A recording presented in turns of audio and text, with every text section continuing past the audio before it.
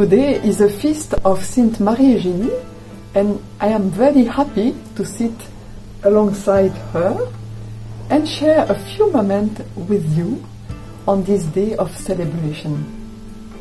I like this image because Marie Eugenie has a gaze of love, trust, and serenity. Where did this trust and love come from? She wrote it as the source of her inspiration and action. My gaze is entirely fixed upon Jesus Christ and the extension of his kingdom.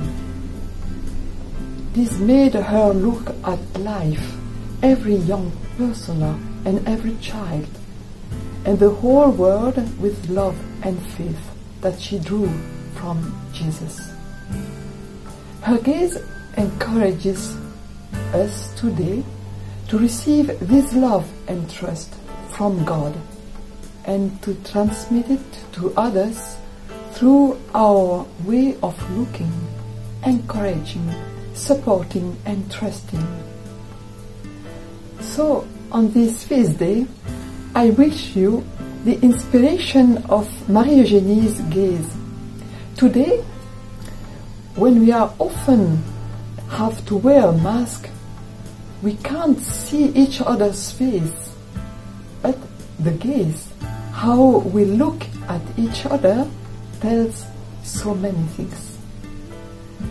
In this time of pandemic, may our eyes above our masks transmit this love and peace.